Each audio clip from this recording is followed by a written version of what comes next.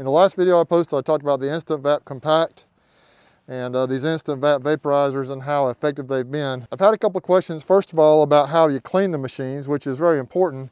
And second of all, I've had a couple of questions about this mask that I use, this protective gear. So let me get this stuff off and I'll explain it to you. I'm away from the bees now, I just got done treating and they're leaving me alone a little bit. But while I do that, I'm gonna let you see how, just how fast I treated 15 colonies out here using these two instant vaps together.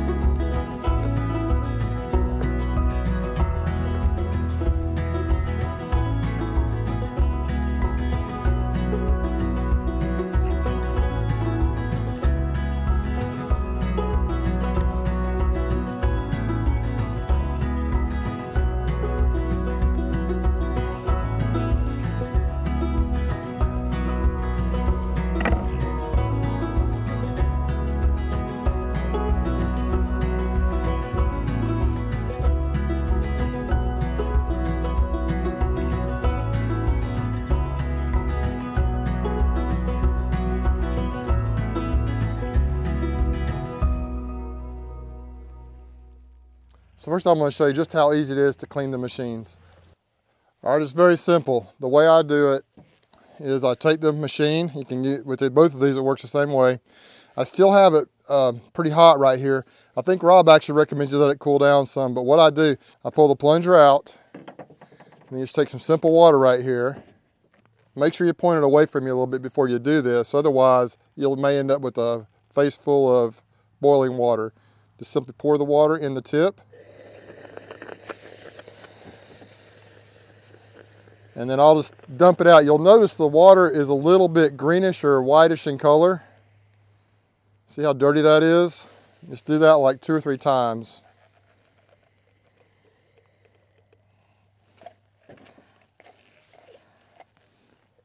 See that? And you do it until the water comes out basically pretty clear.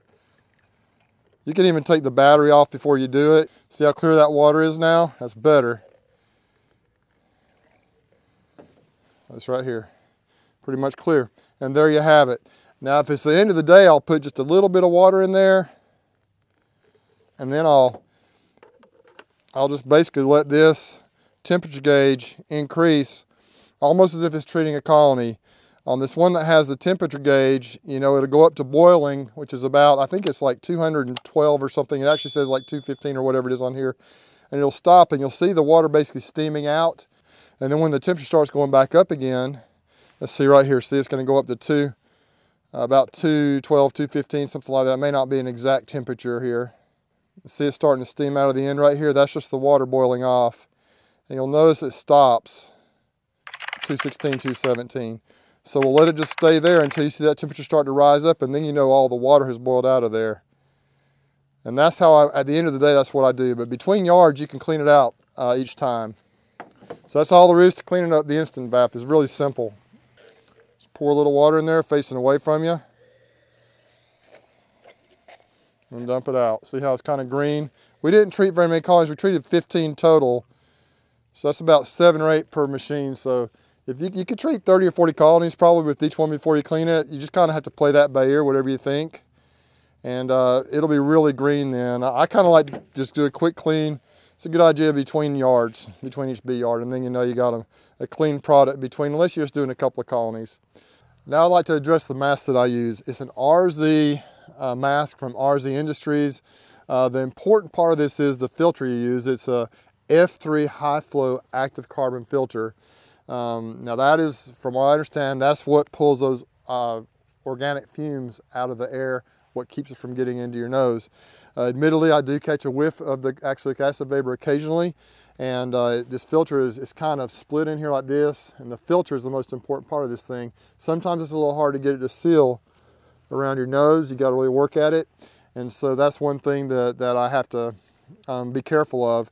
I usually walk away from the fumes anyway when it's going. Um, but for the most part, the mask has been okay for me.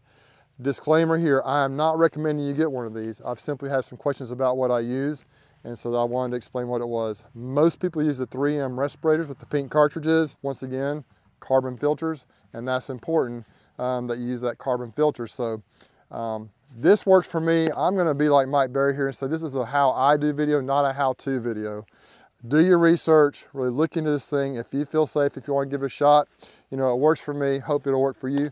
If you don't feel comfortable with it, then just stick with the standard equipment. I'm not telling you what to do, or I'm not even recommending this product. It's also important, I think, to change out your filters fairly often. I don't do it probably as often as I should. So I thought I'd do this quick little video, show you how fast it is to treat these colonies out here with two of these instant VAPs. We treated 15 colonies from the time we pulled up in the yard I shot a, uh, I took a, a, short video of what time it was until we until I finished my last treatment was 26 minutes. And that includes turning the machines on getting them warmed up. It includes uh, setting up the camera equipment so I can videotape it. It includes putting on my protective gear and then treating the colonies. You'll notice too I took a screwdriver to kind of pry the frames apart in the Apimaye I'm still trying to figure out a way that I really like uh, treating those things but that seems to work okay. There's got to be a better way. I know Rob has a little adapter you can put on there as well, and I've got one of those, but this way seems to work fine. Looking forward to the new year. It's going to be a great year. Y'all take care. Uh, we'll catch you next time.